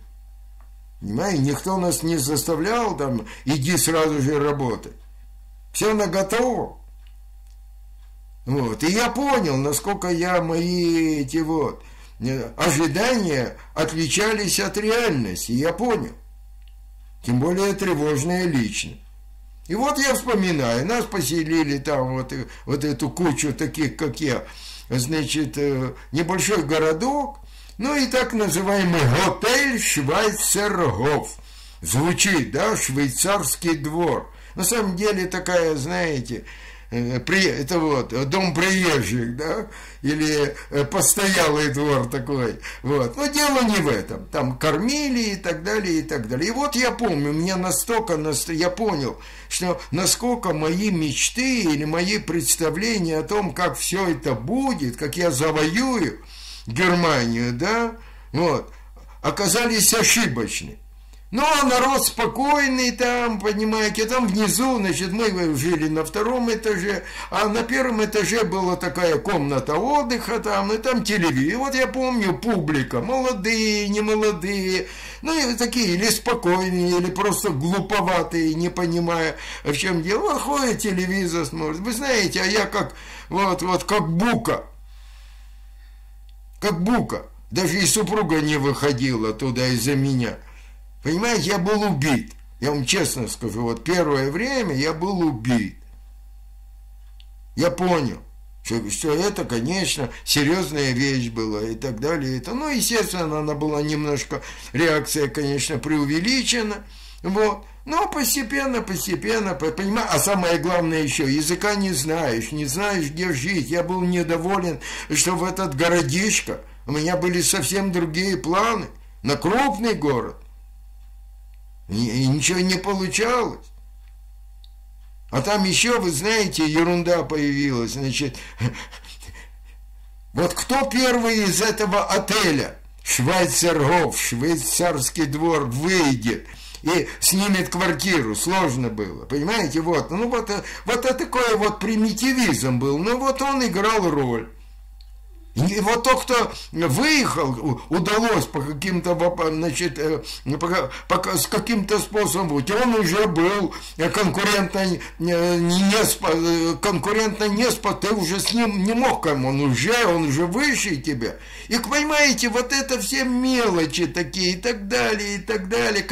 Это мелочь была. Вот сейчас бы я наоборот, я бы там бы и остался.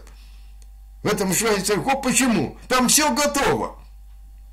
Там все готово, там ты ничего, ты можешь топить, так топить, что, что понимаешь, что э, и ни копейки платить не будешь, будет платить э, тот, кто, кто должен платить. Э, и можешь, значит, душ горячий пустить и хоть значит, по 3-4 часа в сутки.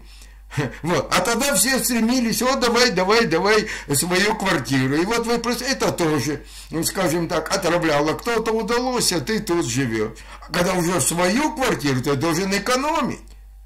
Вот мне в этом году пришла доплата, вот, вот недавно, 700, э, э, значит, 750 евро я должен доплатить дополнительно за то, что, э, скажем, там, там, отопление отопление, там, и там, значит, там лифт, и, в общем, всякую ерунду. То есть, каждый месяц платим, да еще вот, вот каждый год, значит, в конце года пересчет идет. Понимаете? А там ты мог, мог на миллионы на, на это вот горячей воды и отопление, и ты не платишь. Понимаете? Вот это ошибка, ты не знал. Вот. Но тогда оно тоже отравляло жизнь. Но постепенно, постепенно, понимаете, это и называется адаптация. Адаптация. Ну, кто может быть не так глубоко? Ну, вот тот глубоко смотрел или и не задумывался, или у кого не было планов амбициозных. А тот, может быть, вот и ходил, и телевизор смотрел. Но я не знаю. Сложно. Вот мне было сложно. Очень сложно. То еще вторые, вторые очки одеваю. Вот так отвечу вам. Так. Аскорбиновая кислота – это, да, витамин С. Вот, вот такая ерунда, рак легких. А этот э, э, э, Нобелевский лауреат предлагал лечить чуть ли там, э, я не знаю, там граммами, да, большой, помните, я забыл его фамилию, э, грипп, да, лечить огромными количествами нельзя, потому что и панкреатит может быть, но что брак легких от витамина С, не знаю, не знаю. Ну вот, вот такая, вот такое прочел. Вы понимаете, первая мысль фейк или полуфейк.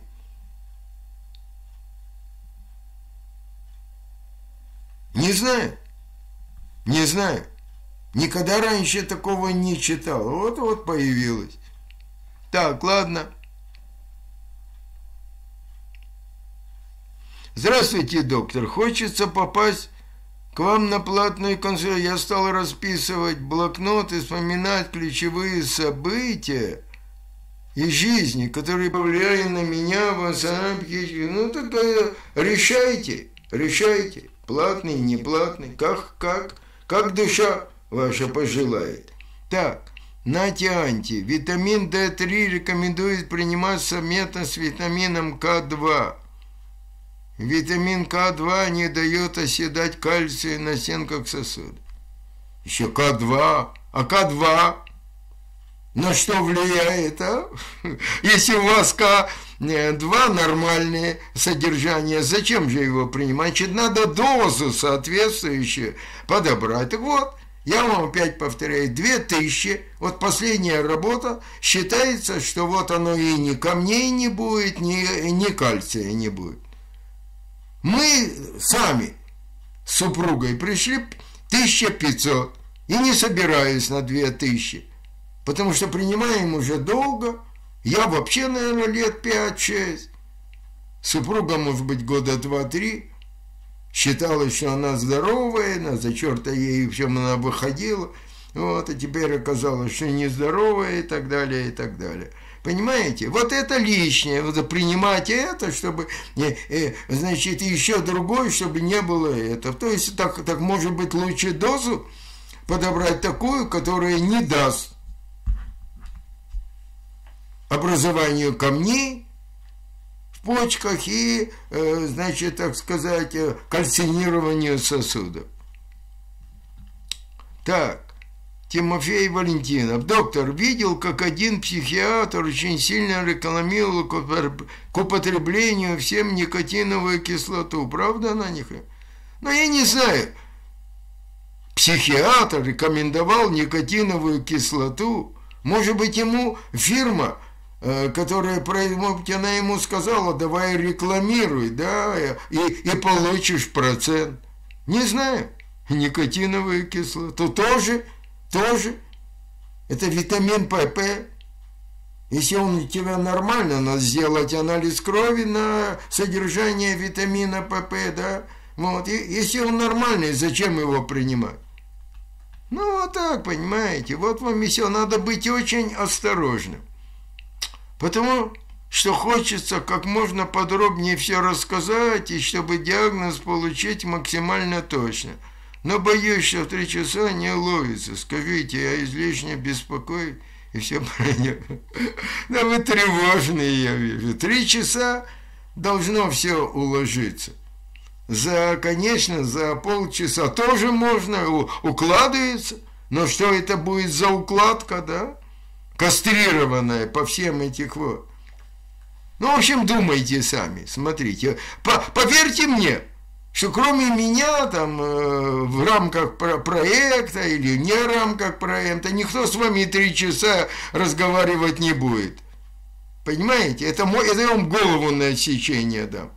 Поэтому лучше три часа, чем, чем э, полтора или там час. В общем, решайте сами. Так. Так, доктор, сейчас очень популярно употребление, ну, боже мой, я уже говорил. Вот сегодня я консультировал одного пациента. Что он только, понимаете, вот там есть 15, в МКБ-10, 15 зависимостей. Так вы знаете, сколько я у него нашел? 12. У него только трех. У него кокаин, и то один раз он пробовал кокаин, но он дорогой. Если считать, что вот это единожное значит, употребление кокаина э, тоже, значит, у него только двух не было из 15. Все остальное он пробовал, и причем под длительное время. Вот так и в том числе и, и э, грибуки, мухоморы, и там он говорил даже не мухомор, а какой-то э, псилоцибин, хрен его знает, что из-за гриб. Ну вот. вот вам и ответ. А теперь а теперь, значит, работать не может, ни черта не может, возраст. И сегодня беседа была, значит, э, поставлена, как ему сходить. Почему? Потому что если он не прекратит это дело и не будет лечить свою депрессию, как ее полагается, надо было в 15 лет начать. Прошло 14 лет. За э, все 14 лет после 15, он употреблял и продолжает, чего он только не употреблял. Значит, только не было э, эфира и не было бензина. Вот этого не было. Ну, и этого вот, да, э, кокаина, ну, дорогой кокаин, да вы что. И еще чего не было, опиоидов, а все остальное было, все, абсолютно все было. И галлюциногены, и чего только не было. Вот так вот. Так что вот вам и ответ.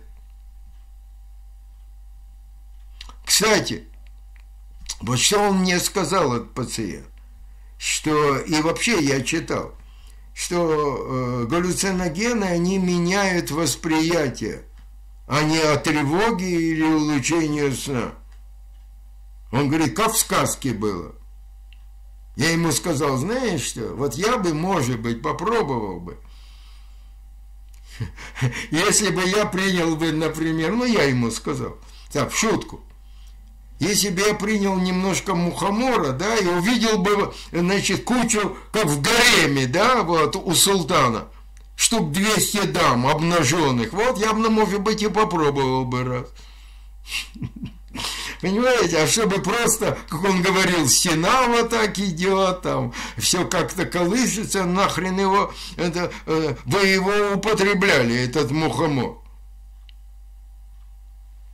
А, а, а побыть в гареме, ну так это, это хорошо. Султанском, да? Ну ладно. Против. Правда, у меня не так много информации по родственникам, особенно по папиной линии. Узнать уже нет, к сожалению. Ну не ладно, что-то. Смотрю ваши разборы уже месяц целыми днями. Спасибо за то, что вы есть. Пожалуйста, что-то есть. Я еще раз повторяю, сегодня Йом-Кипур, судный день. Это после еврейского Нового года, пять тысяч, я уже забыл какой, там, вот, идет Йом-Кипур, судный день. Сегодня Господь Бог решает, книга судеб, кому продлить жизнь еще на год, а кому нет уже, и, и вообще, как там будет дальше. Вот, кстати, Йом-Кипур сегодня решается судьба Трампа или, Каме, или Камалы Харрис. Вот сегодня он и решится. И никто не знает, как оно решится, а оно уже решается там. Ну, это я так, конечно, говорю. Ладно. Какое ваше мнение о таких СИОС, как циталопром, флоксетин и фибарин? Циталопрам, лучше циталопрам принимать. Э, флоксетин старый, но есть преимущество. Э, в плане поддерживающей терапии он может приниматься даже один раз в неделю. Поддерживающая. Феварин никаких вообще не использую. Доктор, может ли... А, кстати, в России вот его что-то любят, это феварин. Не знаю. А вы знаете почему? Наверное, он дешевый, его нормально, это вот, спихивает сюда. А там никто его не назначает на Западе, где производит, а вот там, где, скажем так, его э, э, значит, покупает, вот там. Поэтому почему-то его много, этого фиварина. И еще, скажем, оригинальный препарат, фиварин, на самом деле флувоксамин, это действующий суп. Вот я предполагаю, Никак. Вот этот никак. Циталопрам еще ладно, это, э, скажем так, э, э, первый, это, э, скажем так, э, отец эсциталопрама. Отец. Это и более грубая форма, более такая э, грязная форма. Эцеталопрам – это очищенная форма. Еще, еще можно циталопрам, но если есть эцеталопрам, то циталопрам уже лучше и не использовать. Это первое. Второе. Э, флоксетин, я говорю, это, скажем так, во-первых, он не дает аппетита. Вот. Тот, кто не хочет поправиться, вот, э, значит, флоксетин, э, скажем так, имеет свое преимущество. В этом оно. Второе, э, поддерживающая доза. Вот, скажем так, поддерживающая терапия максимум может даже один раз в неделю или через день или через день, там, скажем так, 10 миллиграмм через день, или через два дня, или один раз в неделю. Ну, теоретически, естественно. Вот это его, скажем так, преимущество. Так, доктор, может ли ОКР и МИГРЕТь быть связанными с аутизмом? Не знаю. Понимаете, скорее всего, вот как. Значит, мигрень связана с депрессией. С бар, депрессия. Сто процентов. А э, все зависит от того, что понимать под ОКР. Что такое ОКР вообще? Это американская, это э, обсессивно-компульсивное расстройство. Вот у меня нож, и я боюсь, что я сейчас этим ножом дам в любимого человека. Или я выхожу на э, балкон, и у меня сейчас ощущение, что я сейчас вы. Вот это ОКР. Понимаете? А его, значит, любую обсессию почему-то в России называют ОКР. Это неправильно. Это компульсия. Это импульс обсессивный, навязчивый.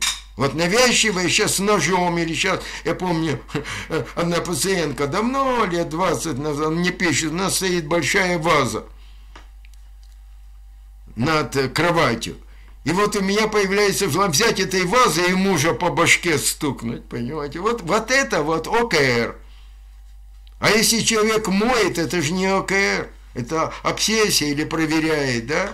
Там час закрыл дверь или не закрыл, понимаете? Вот и все. Поэтому все э, зависит от того, как, э, значит, э, трактовать вот то, что вы называете ОКР в рамках аутизма. Но все-таки, вы, вы понимаете, аутизм это сложное, там специфика есть, понимаете, большая-большая специфика. И с ОКР он мало имеет общего. Или с обсессиями. Это разные, совершенно разные. Поэтому не знаю. Не знаю, не могу вам сказать. И даже и не думал, и не пытался их связать. Так.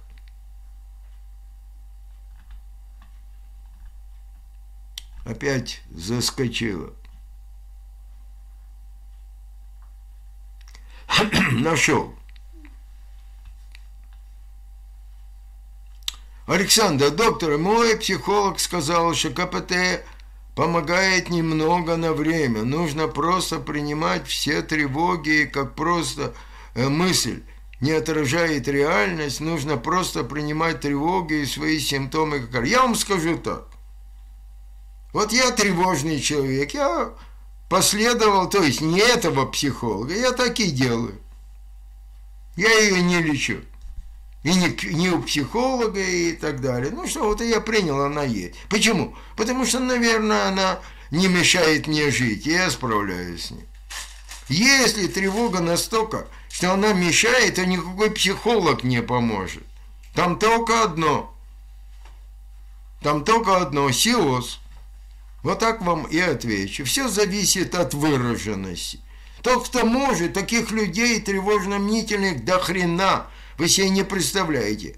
И из них большая часть вообще не обращается. Справляется. Ну, тревожный, беспокойный. Ой, э, не пей холодной воды. Ой, не ходи, э, вот там скользко, упадешь. Ой, не купайся, утонешь. Ой, когда переходишь улицу, смотри. Ну, ну вот, вот таких людей вы себе представляете? Или шарфик не забудь одеть. Они, они справляются. Так что ничего психолог э, никакой, как сказать, истины не открыл. А если это тяжелая тревога, которая мешает человеку жить, если это фобия, это тоже тревога. Так поверьте мне, что психотерапия не поможет. Она поможет только пересмотреть твое отношение э, значит, на эту тревогу, но тревогу она не уничтожит. А ее надо уничтожить только СИОС. Или, скажем так, препаратами э, симптоматического действия. Противотревожными, бензодиазепиновыми. Вот, но там зависимость при бензодиазепинах и так далее. Так.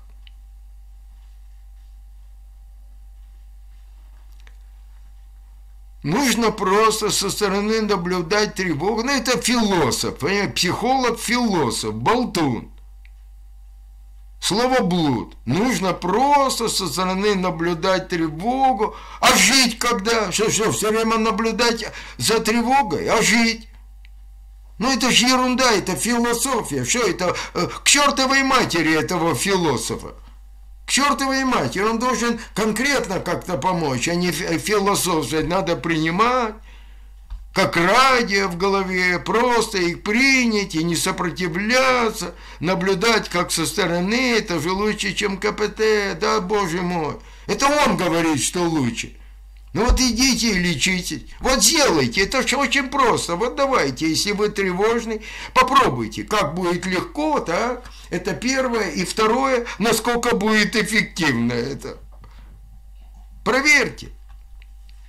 Так, Александр, нужно... Так, это я уже читал. Джордж, расскажите про воздержание. Какое воздержание? Воздержание чего? Еды, секса, импульсов или чего? Сна. Есть люди, которые много спят. Маршал Марсон, чат, что за дед? Почему мы это советуете? Так, ну что, дорогой Марсель, это не ваш, это дед, поэтому до свидания. Спасибо за присутствие, ну и до свидания. Так, хирург эротоман пристает... О, к пациенткам. Так он больной? Конечно. Конечно. Понимаете, он больной.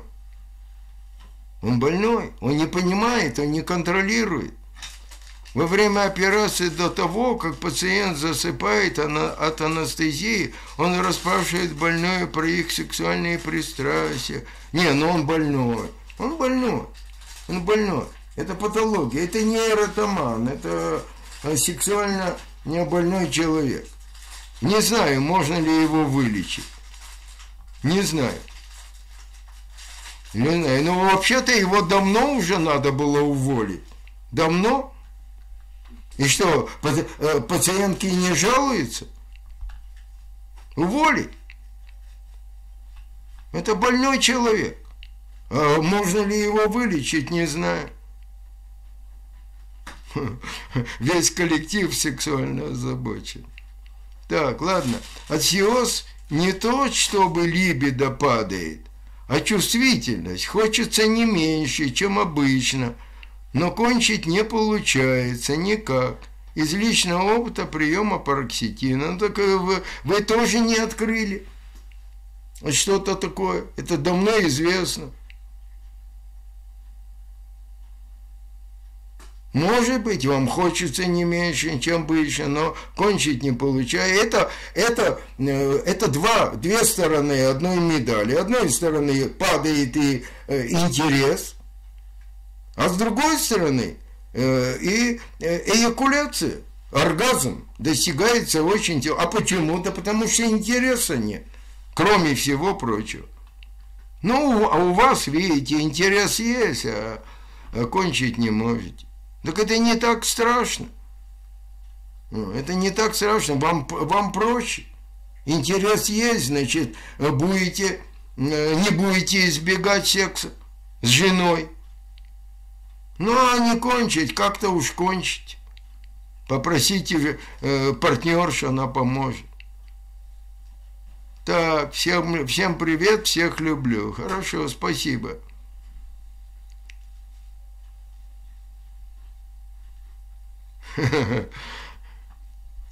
Так, Никита Романов. Да, нужно не сопротивляться своим тревогам и симптомам. Ничего не контролируй, будет лучше чем оторвать. Так КПТ вообще она ни черта не даст. Она ни черта не даст. Вот. А что такое не сопротивляться? У меня другой момент. Тревога вызывается всегда причиной. Вот я устраняю причину, и тревога уходит. Вот вам и все. Вот сегодня я уже все, я уже заплатил эти 700, да, 50 евро, все и, и выбросил из головы, а так оно как дырка в голове, надо, надо, надо, надо. Вот э, заплатил, все. А сейчас еще другие, вот надо прививки делать, с супругой сложно, она же не выходит. Значит, надо где-то найти, значит, э, принять от, э, скажем так, от этого сенциальный, скажем так, респираторный сенциальный вирус. То, что ОРВИ называется, делают. Потом надо принять от ковида, ковид есть, новые уже идут штаммы, ну такой. По крайней мере, нам надо. И от гриппа. Вот у меня оно вот и, и вызывает, то есть я, я же не сижу и не думаю, но оно в голове. Вот как-то надо решить. Потому что мне проще, я сам бы поехал бы и мне сделал. А мне надо еще и, и о, о супруге позаботиться, чтобы кто-то приехал сюда, а не каждый хочет приезжать сюда, даже если и, и, и платит. Вот и все, вот как решается. А так это что это, не обращать внимания и все, да? А если тревога такая, что зашкаливает, так что? Тоже будете как радио принимать? Ладно, ребята, я уже ответил на этот вопрос. И то же самое я и Никите Романову предлагаю. А КПТ – это глупо. КПТ не помогает абсолютно. КПТ как может помочь? Ну, скажем так, вот приступ паники, человек думает, что у него, что он умрет от инфаркта или потеряет сознание, или с ума сойдет. Значит, КПТ ему, даже не КПТ, а КТ. КТ, не только не, э, скажем, не компьютерная томография, а, э, скажем так, э, когнитивная терапия. Ему объясняешь, ничего страшного, сердце здоровое, мозги здоровые, в каком плане, инсульта не будет, сознание не потеряешь, контроль не потеряешь, с ума не сойдешь. И человек уже понимает, что это такое, и все – вот что делает КПТ. Но приступы как были, так и остались. Чем можно убрать эти приступы? Одним из СИОС. Вот вам и все. Вот что э, э, даже не КПТ, а именно когнитивное. Это ты, ты человеку объясняешь. А он не знает, он, э, э, значит, боится, что вот он с ума сходит, что он вообще сумасшедший. А ты ему говоришь, нет, ты не сумасшедший. А почему это? А да потому что вот и в результате там папа или мама или еще чего-то у тебя происходит выброс, объясняет ему этот терапевт. Вот, и поэтому у тебя сердце стучит, поэтому ты дрожишь, и поэтому у тебя дереализация, через часик это приступ уходит, и все. И он уже спокойный. Но приступы как были, так и остаются. Так, доктор, какую максимальную доз... Так, секунду. Можно, э, доктор, можно ли 300 мг велоксина добавить немного поксила для успокоения, если помогает? Конечно, мой, имеется смысл, это целесообразная комбинация. Если на 300 миллиграмм э, вилнофоксина тревога немножко, так сказать, такая зашкаливает или сильна, конечно, для снятия ее добавляешь. Почему? Потому что 300 миллиграмм, там уже эффект другой. Там уже не, не настолько серотониновый или серотонергический, как норадренергический. Поэтому для того, чтобы э, и Значит, норадрен, э, норадренергический, он активирует, он апатию убирает, там еще и дофаминовый добавляется при больших дозах, вот, как это оживляет, активирует, но одновременно э, скажем так, уже мало влияет на серотонин. Поэтому для того, чтобы снять тревогу или воздействовать на серотонин, добавляется чистый сиоз. Вот так вот. Доктор, какую максимальную дозировку вы видели и слышали? Как какую? Э, официальная 200 миллиграмм. У меня была пациентка, принимала 300 миллиграмм, помогала ей. Но я вообще его сертралин редко использую. Но максимальная официальная по инструкции 200 миллиграмм. Доктор, вы видели? О, Артур, а, это Артур. Ну, сейчас пойдет куча вопросов. Так. Какая максимальная серотонина может при навязчивых? Ну, я говорю, вот у меня была дама, она принимала 300 миллиграмм. Больше у меня личного опыта нет. Э, эсцеталопрам был. Кстати, и при навязчивых, конечно, лучше все-таки пароксетин или эсцеталопрам. А дальше максимальная доза подбирается. Это врач должен наблюдать, он должен э, рекомендовать и так далее, и так далее, и тому подобное. Понимаете, это нет, нет э, каких-то конкретных, установленных, вот, зафиксированных максимальных доз. Кто-то может и 400 вынести и, э, и выдержать, и все будет нормально. А кто-то и, э, и 100 не выдержит, будет плохо, понимаете? Это в каждом конкретном случае. Вопрос неправильно сформулирован. Вопрос должен был так, можно ли? Отвечу «да». При каких заболеваниях? В основном при абсцессе. Но при абсцессиях лучше не использовать сертралин. Все-таки предпочтительнее либо пароксетин, либо, э, скажем, эсцеталопром. Ну, тоже в максимальной или выше максимальной дозы. Так, Анна Малыша, мне тяжело в Германии. Я в гипомании ничего не успеваю сделать. Я только в ней живу. А в депрессии уже ничего не надо. Все медленно. Бюрократия. Вы знаете, а мне нравится вот Германия. Порядок бюрократия. Вот нравится. Понимаете, бюрократия, она имеет и свой смысл. И с ней надо бороться. Тут терпение надо быть, логика, обоснование. Понимаете, для того, чтобы побороть э, бюрократию, нужно об основание. А немцы дают. И Херте Феле то есть исключительные случаи. Ну, так что надо просто быть осведомленнее. А что, вот так как, э, если вы живете в Германии, наверное, вы с Украины, да, как беженка? Вот, не знаю. Лучше в Германии, вот я бы уже не смог бы ни в России, ни в Украине, ни, ни, ни в этих, ни в Молдавии, ни, ни в Грузии, понимаете, там все-таки менталитет не тот. Лучше пусть будет бюрократия. Но, но порядок. Так.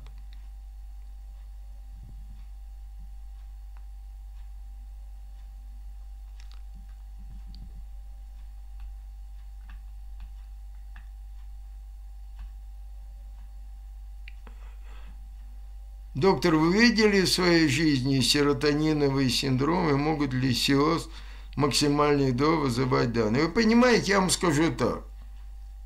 Почти что не видел. Постфактум мне сообщали, что кто-то выставил серотониновый синдром. Это первое. Второе. Чем больше дефицит серотонина синаптический, тем меньше вероятность получения серотонинового синдрома.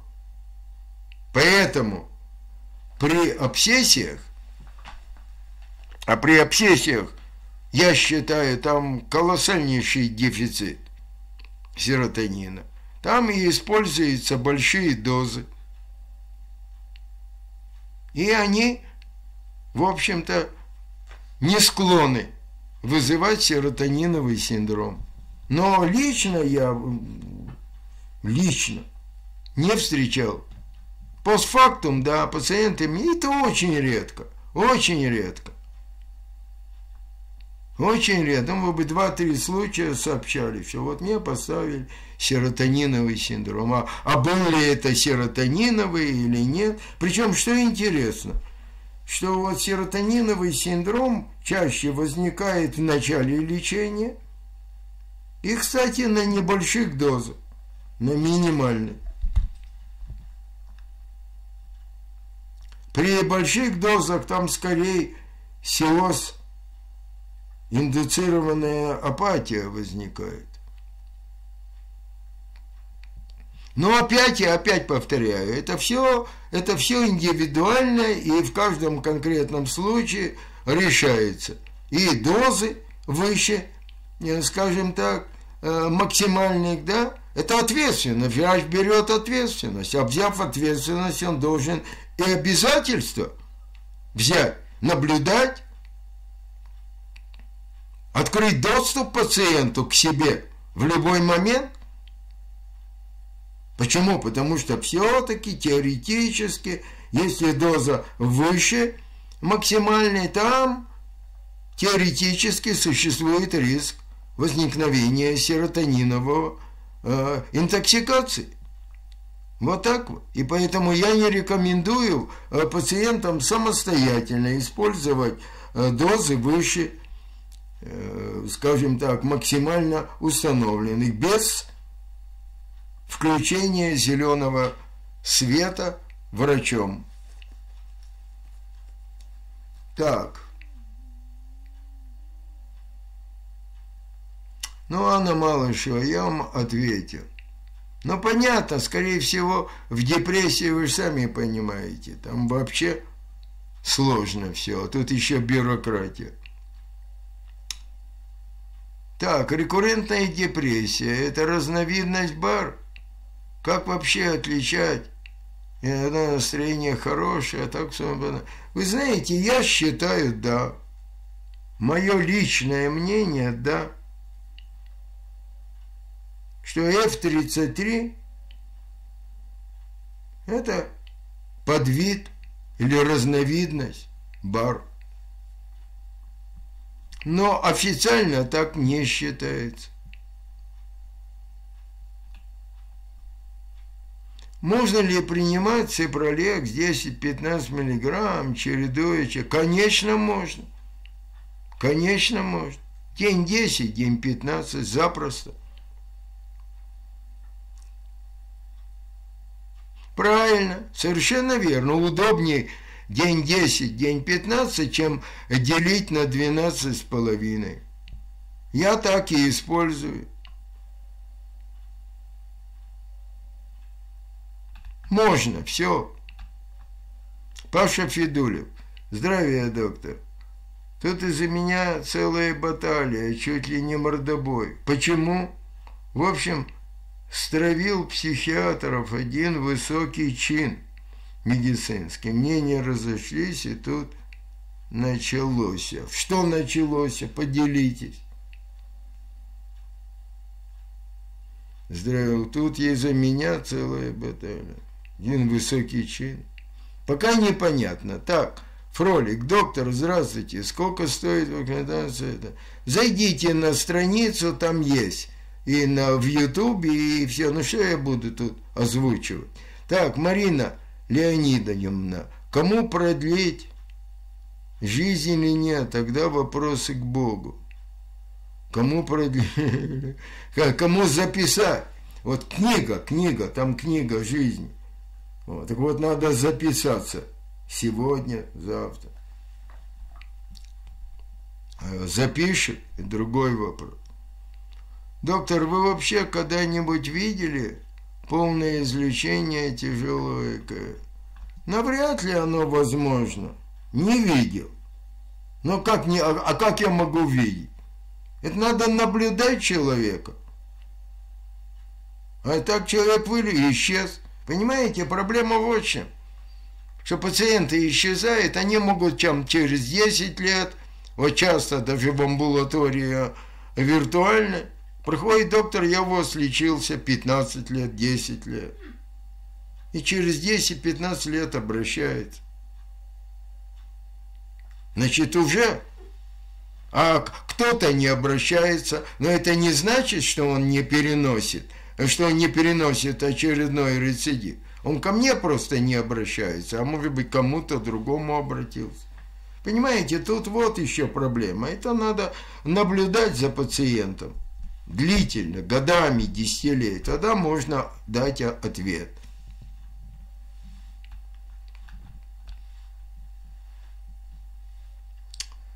Так, ваш пример вселил надежду состояться как человек. Я обрел специнтерес в психиатрии и продолжить ваше дело.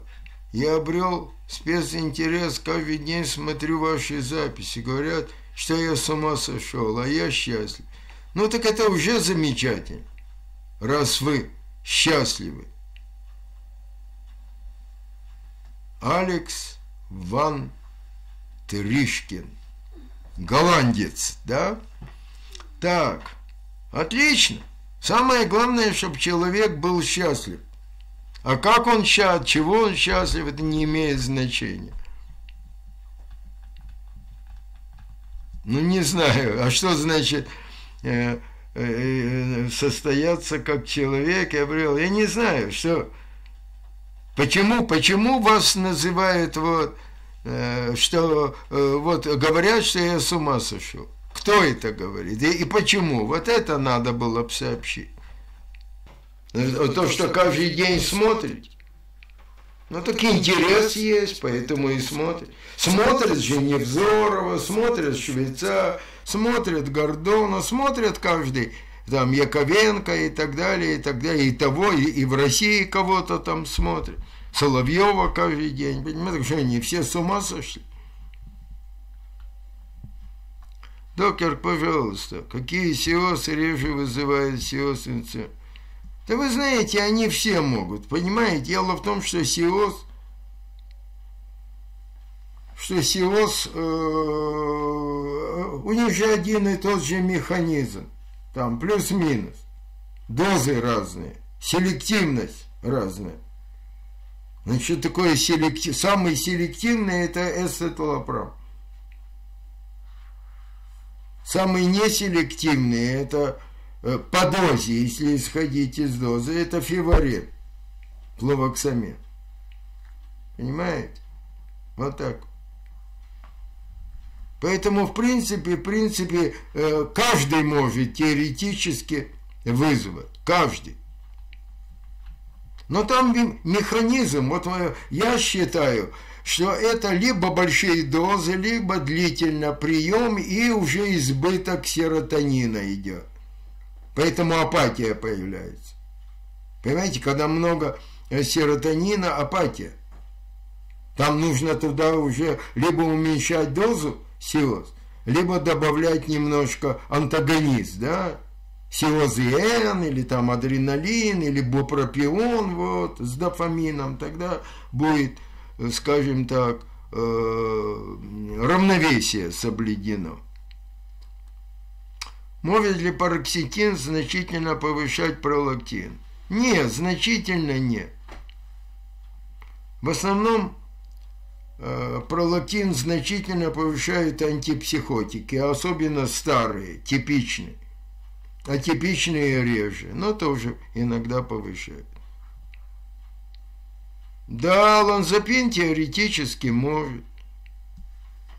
Может и повышает иногда, но, но не, это атипичный. Поэтому не в такой степени, как типа, вот это же вам не галоперидол, и не тизерцин, и не аминозин, и не трифтазин, и так далее, и так далее. Паша Федулев. Выставляли мне диагнозы разные. Один направил на лечение психофармой, только и не иначе. Другой сказал, можно обойтись не медикаментозно психотерапией, психокоррекцией, не медикаментозно. Ну и что? А какой диагноз вам выставили?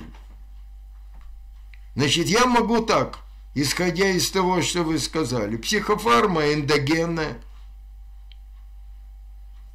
Э, без э, медикаментов, значит, психопатия, нарушение поведения – или еще что-то. Вот так вот. Ну хорошо, ребята, все коротенький, я обещал коротенький, уже 22 часа. Вот, спасибо, спасибо. До следующих встреч. До свидания.